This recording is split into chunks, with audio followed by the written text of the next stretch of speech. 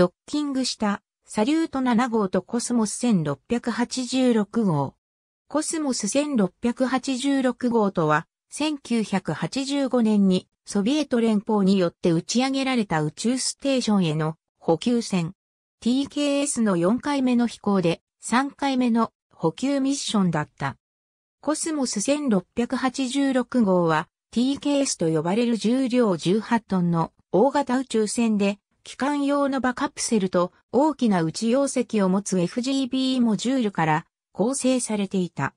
もともとはアルマース宇宙ステーションへの補給のために開発されたが、アルマース計画のキャンセルに伴いサリュート計画の補給ミッションに使用された。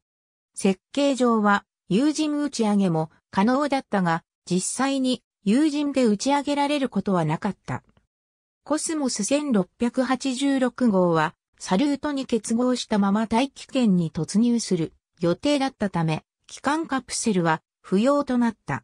このため以前の TKS と異なり、カプセルはスペクトル系や赤外線望遠鏡を備えた観測モジュールに改造された。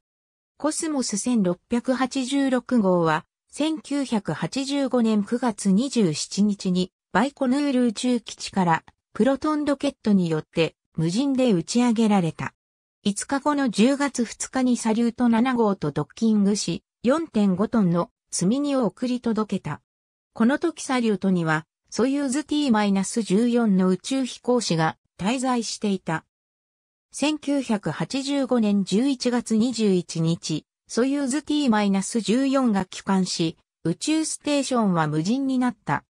1986年5月6日、ソユーズ T-15 で宇宙飛行士が訪れ、6月25日まで滞在した。これがサリュート7号最後の有人ミッションとなった。同年8月、コスモス1686号はエンジンを噴射し、宇宙ステーションの軌道高度を 475km まで押し上げた。その後、軌道高度は大気の抵抗のため低下し続けた。1991年2月7日、コスモス1686号は、サリュート7号と共に、アルゼンチン上空で大気圏に突入した。コスモス1686号は、TKS の4回目の飛行で、一つ前の TKS のミッションは1983年4月のコスモス1443号だった。純粋な TKS のミッションはコスモス1686号で終了したが、1987年3月には TKS の設計を流用したクバント1モジュールが打ち上げられた。